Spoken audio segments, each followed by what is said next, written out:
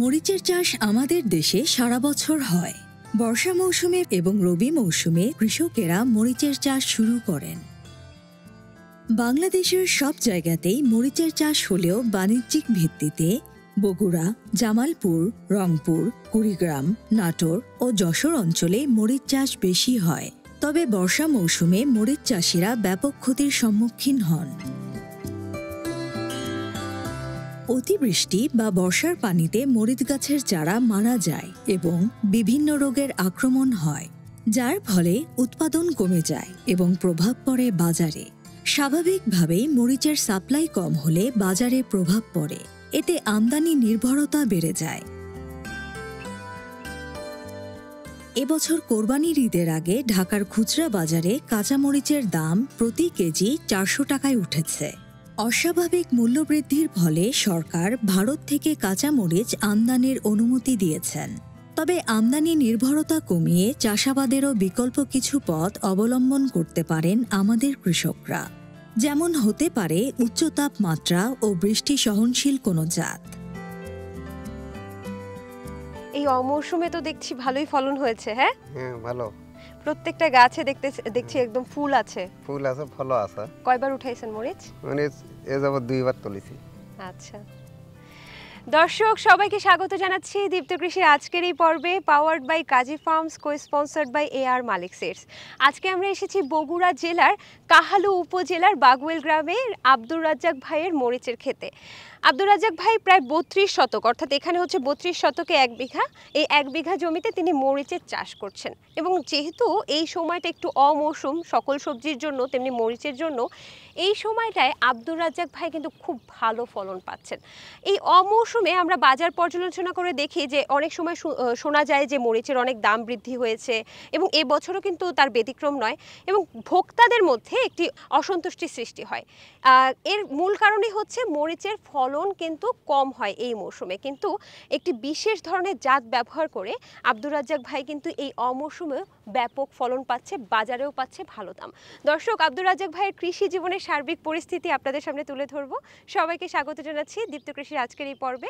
আশা করছি পুরো আয়োজন জুড়ে আপনারা আমাদের সাথে থাকবেন। তো আব্দুর রাজ্জাক ভাই শুধু ফুল যে বেশি হয়েছে তা কিন্তু না দেখতে পাচ্ছি মরিচের শেপগুলোও কিন্তু খুব ভালো। হ্যাঁ, ভালো। হ্যাঁ? ভালো। দেখতেও খুব সুন্দর। সুন্দর খুবই সুন্দর। এই যে কোরবানি ঈদের পরপরই মরিচের দাম নিয়ে একটা কথা শোনা গেছে তাই না? হ্যাঁ আবার অনেকে বলেছে যে এই মৌসুমে মরিচটা একটু কমও হয়েছে ফলন ভালো হয় নাই। আপনার কি পরিস্থিতি? হ্যাঁ। ফলন ভালো আছে। আর দামের ব্যাপারটা যারা কৃষক এরা তো তিনশো সাড়ে তিনশো বা চারশোর উপর বাজার পায়নি। আপনি এই ক্ষেতটা করেছেন কবে? মার্চের ওই ষোলো তারিখে। তো এ পর্যন্ত উঠিয়েছেন কতবার? দুবার। দুবার। কেমন পেয়েছেন ফলন? ভালো। এগুলো আপনি কেজি দরে কত টাকা বিক্রি করেছেন? সর্বনিম্ন কত আর সর্বোচ্চ কত পর্যন্ত উঠেছে? সর্বনিম্ন ষাট টাকা থেকে শুরু সাড়ে তিন তিনশো ষাট টাকা পর্যন্ত বিক্রি করছি। তো এই যে এই অমৌসুমে আপনার বাগানে বা আপনার ক্ষেতে এত ফলন এটা কীভাবে সম্ভব? প্রথম লাগাইছি বুঝতেও পারছিলাম না যে এত ভালো সুন্দর হবে। গাছটা কোকড়ানোও নাই রোগ বালাইও কম। এই সময়টাকে বলে হচ্ছে সবজির জন্য অমৌসুম। মরিচরেও কিন্তু কম ফলন হয় এই সময়টায়। তো আশেপাশের কৃষকদের কি এরকম ফলন হচ্ছে? আপনার যেমন অনেক ফলন হয়েছে। মরিচটার জাত আসলে অন্যরকম। আমি অন্য অন্য মরিচ আবাদ করছি এরকম মরিচের ফলন আমার জানা ছিল না। আল্লাহ দিয়েছে। মরিচের গাছও ভালো মরিচের ফলনও ভালো। ফুল ধরে আছে গাছে গাছে মরিচেরও কিন্তু ভালোই ফলন এসেছে। এই জাতটার নাম কি? এটা বিজলি প্লাস টোয়েন্টি টোয়েন্টি। আচ্ছা আচ্ছা। এটা কি কারও থেকে দেখে উদ্বুদ্ধ হয়েছেন বা কীভাবে জানলেন এটা সম্পর্কে? দেখে আমার এক বোনতে আর কি এক শতক জমি করছিল। তিনি বলছে যে ভালো ফলন পাইছি। ওরই কথা মতো এক শতক লাগাছিল। ওরই কথা শুনে আমি আবার আমি আবার বললাম যে তাহলে আমি এক বিঘে করে দেখব কীরকম? খরা এবং বৃষ্টি অতিরিক্ত বৃষ্টি কি কি অপকার করে মরিচ গাছে? মরিচ গাছ মারা যায় ফলন কম হয় বৃষ্টি হলে অত ফলন হয় না। তো এবার তো প্রচণ্ড রোদ ছিল প্রচণ্ড খরা ছিল। হ্যাঁ। আবার অতিরিক্ত বৃষ্টিও হয়েছে। তাহলে আপনার মরিচ গাছে কোনো সমস্যা হয়নি? সমস্যা কিছু আছে কিন্তু তারপরেও ভালো মোটামুটি ভালো। এমনিতে তো গাছটা সহিষ্ণু বিভিন্ন জলবায়ু সহিষ্ণু এবং যে খরা বৃষ্টি অতিবৃষ্টি সহিষ্ণু। তারপরেও যে এই যে পানিগুলো ঢুকে তখন কি করেন? তখন ওখানে মেশিন আছে মেশিন দিয়ে উঠে ফেলি। তো এটার আর কি কি বৈশিষ্ট্য আছে আমাকে কি একটু বলবেন? এই গাছটা রোগবালায় কম। গাছ তো ওই সিজন টাইমে কোকড়া লাগে। সেটা দিক দিয়ে ভালো। ওষুধ পাতি ওষুধগুলো কম দা লাগে। কীটনাশকের কম। হ্যাঁ, ব্যবহার কম।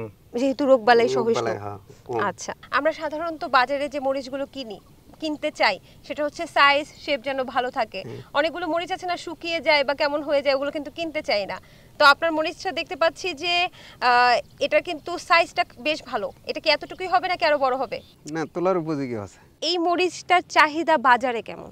বাজারে এই মরিচের চাহিদা যতক্ষণ পর্যন্ত মরিচ বাজারে থাকবে অন্য মরিচের হাতও দিবে না। আচ্ছা। এত সুন্দর। আর বাজারের চাইতে অন্য অন্য মরিচের থেকে কেজি প্রতি চল্লিশ থেকে পঞ্চাশ টাকা বেশি দেখে নেয় আপনি তো বলছিলেন যে এই জাতের মরিচে রোগবালাই খুবই কম। আপনাকে একদমই কীটনাশক ব্যবহার করতে খুব কম হয় তাই তো? হ্যাঁ। তো এই মরিচ গাছটায় বা এই মরিচগুলোতে আপনি কবে স্প্রে করেছিলেন লাস্ট ছয় সাত দিন হবে। আচ্ছা তাহলে যখন আপনি কীটনাশক স্প্রে করছেন তার কতদিন পরে আপনি বাজারজাত করছেন? পাঁচ সাত দিন ছয় দিন পর। এতে করে যে ক্ষতিকারক প্রভাবটা সেটা থাকে না। থাকে না।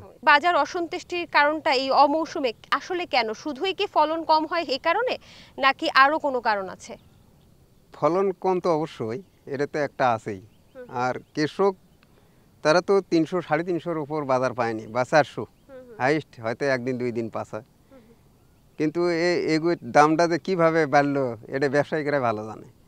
কৃষক যদি এই বিজলি প্লাস টোয়েন্টি টোয়েন্টি আবাদ করে তাহলে চাষাবাদ যদি করে তাহলে কৃষকও লাভবান হবে বাজারও নিয়ন্ত্রণ থাকবে। রাজ্জাক ভাই আপনি কিন্তু একটা সাহসী পদক্ষেপে নিয়েছেন দেখা যাচ্ছে না? হ্যাঁ। অমৌসুমে এত বৃষ্টি হচ্ছে এত খরা পাশে আবার দেখতে পাচ্ছি ওগুলো কি ধানের জমি? ধানের জমি। সেখানে আপনি একাই দেখতে পাচ্ছি আশেপাশে কোনো মরিচের ক্ষেত ক্ষেতও নাই। কেউ নাই।